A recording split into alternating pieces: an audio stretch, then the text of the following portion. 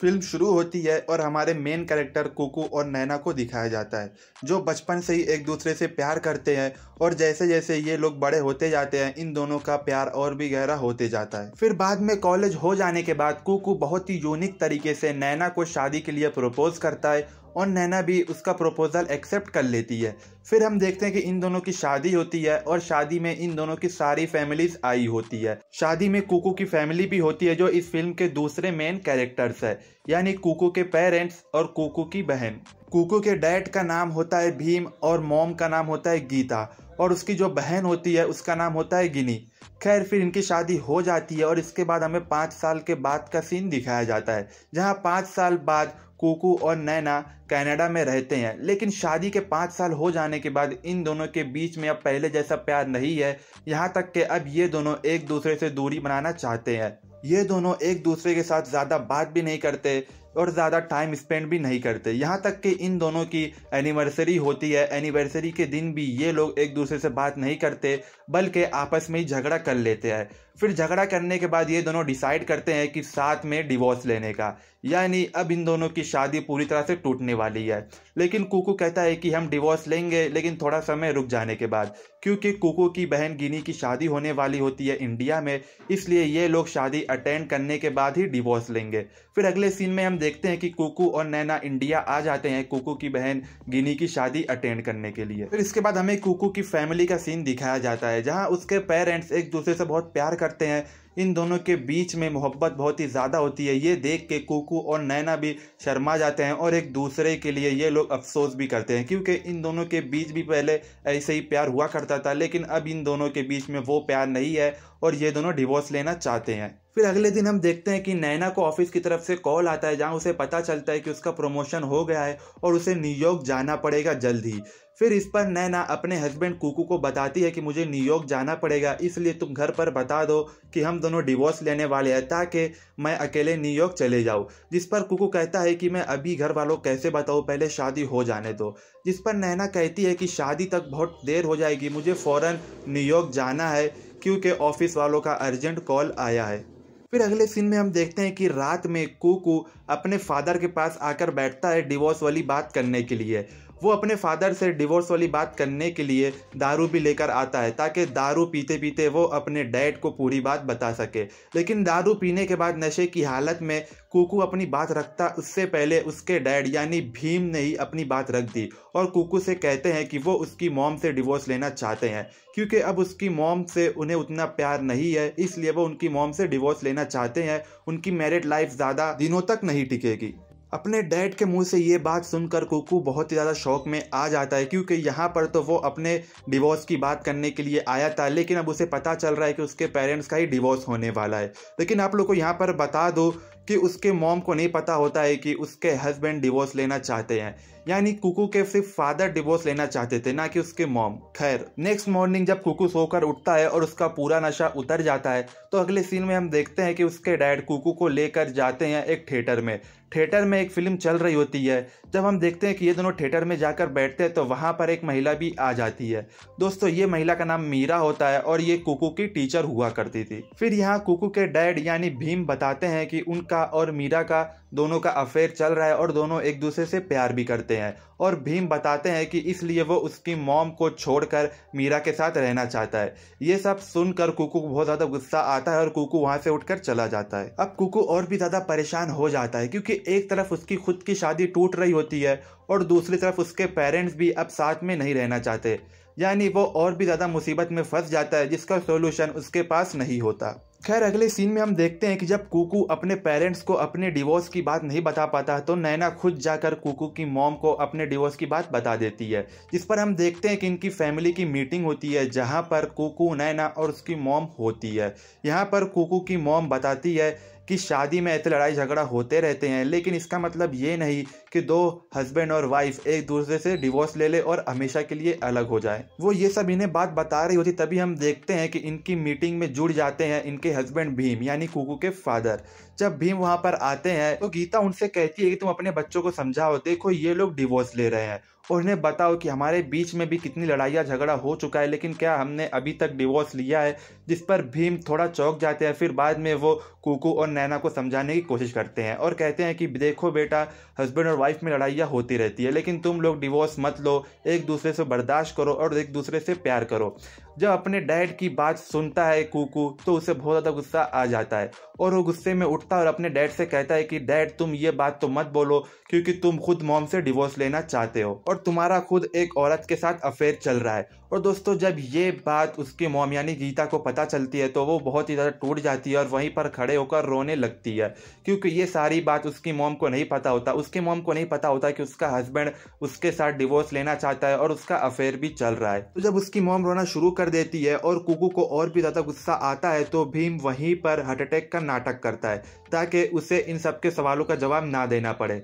जब वो heart attack का नाटक करता है तो उसकी फैमिली बहुत ज़्यादा कंसल्ट हो जाती है और उसे फटाफट हॉस्पिटल में लेकर जाते हैं। लेकिन आप लोग को बता दूँ कि यहाँ किसी को नहीं पता चलता कि भीम ने एक झूठा हार्ट अटैक का नाटक किया है। सबको लगता है कि उन्हें सही में हार्ट अटैक आया है और सारे लोग परेशान होते हैं। खैर, फिर बाद में कुकू भी अपने डैड के पास आता है और उनसे माफ़ी माँगता है। कहता है कि मुझे इस तरह आप पर चिल्लाना नहीं चाहिए था, मेरी वजह से ही आपको हार्ट अटैक आया है।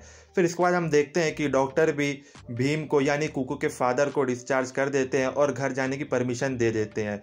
और घर पर आने के बाद हम देखते हैं नैना भी अपना न्यूयॉर्क वाला ऑफ़र ठुकरा देती है और अपने ऑफ़िस वालों से कहती है कि यहाँ पर घर पर बहुत ही ज़्यादा प्रॉब्लम्स आ रही है, इसलिए वो अपने घर वालों को छोड़कर न्यूयॉर्क नहीं आएगी। और दूसरी तरफ़ भीम और गीता की दूरियाँ भी बढ़ जाती है। फिर अगले सीन में हम देखते हैं कि गीता अपने हस्बैंड भीम से कहती है कि तुम्हारी जो गर्लफ्रेंड मीरा है, मैं उससे मिलना चाहती हूँ। मुझे उससे कुछ बात करनी है। फिर अगले दिन हम देखते हैं कि ये लोग मीरा को एक मंदिर में बुलाते हैं, जहाँ पर ये पूरी फैमिली होती है और मीरा होती है। फिर तभी इन दोनों के बीच में बात होती है, यानी गीता और मीरा के बीच में बात होती है। जहाँ गीता सबके सामने ही मीरा से कहती है कि, मैं अपने हस्बैंड को छोड़ने के लिए तैयार हूँ। अगर तुम दोनों एक दूसरे से प्यार करते हो तो मैं तुम दोनों के बीच में कांटा नहीं बनना चाहती। तुम मेरे हस्बैंड को लेकर जा सकती हो। और मेरी बेटी गिनी की शादी हो जाने के बाद हम दोनों एक दूसरे से ऑफिशियली डिवोर्स भी ले लेंगे।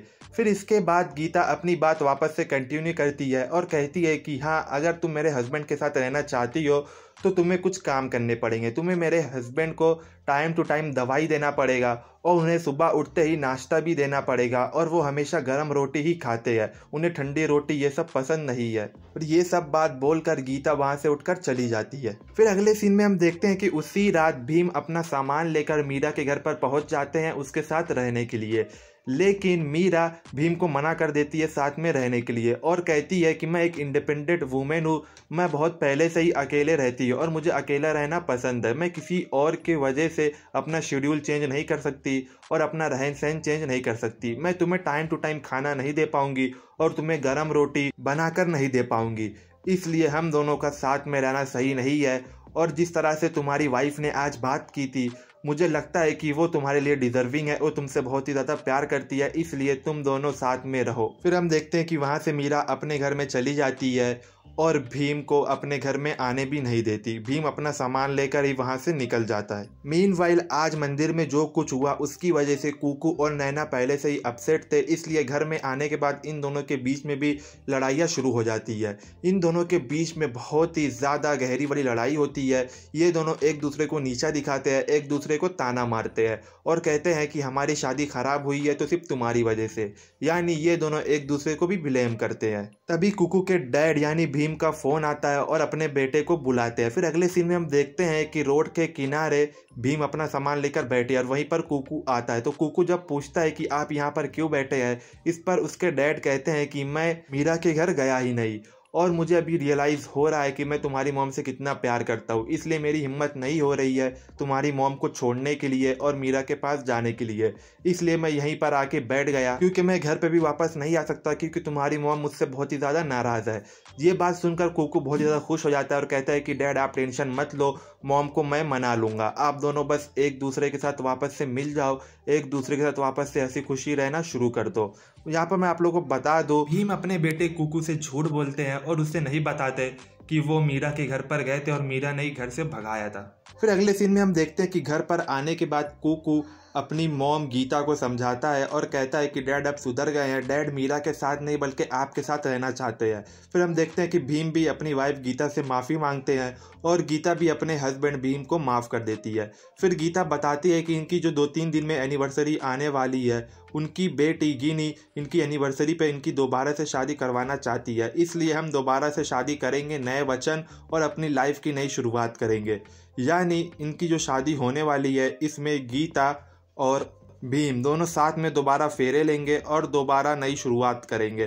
फिर अगले सीन में हम देखते हैं कि इन दोनों की शादी हो रही होती है दोबारा और सब बहुत ज़्यादा खुश होते हैं। तभी कुकू और उसका दोस्त, ये दोनों मिलकर एक प्लान बनाते हैं। ये दोनों मीरा को कॉल करते हैं और उसे जलाने की कोशिश करते हैं।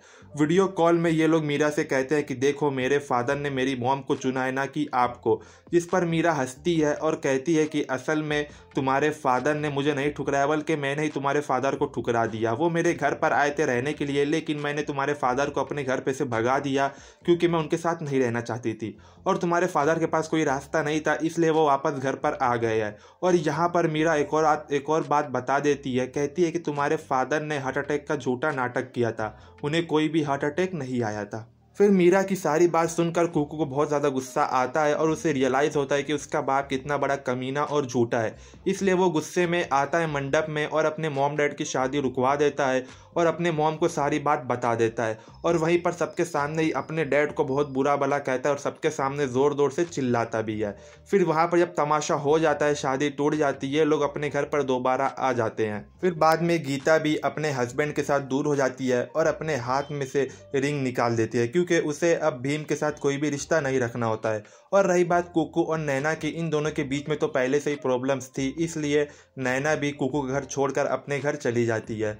यानी एक हिसाब से अब इन चारों की लाइफ पूरी तरह से ख़त्म हो जाती है, बर्बाद हो जाती है, क्योंकि कुकू और नैना भी अलग हो जाते हैं और गीता और भीम, इन दोनों के बीच में बातचीत बंद हो जाती है और ये दोनों भी एक दूसरे से अलग होने ही वाले होते हैं। फिर ऐसे ही ये चारे लोग एक दूसरे के बिना थोड़ा समय गुजारते हैं और इन सबको रियलाइज़ भी होता है। फिर अगले सीन में हम देखते हैं कि ये चारों लोग कोर्ट में जमा होते हैं, जहाँ पर ये चारों एक दूसरे से डिवोर्स लेने के लिए आए होते हैं।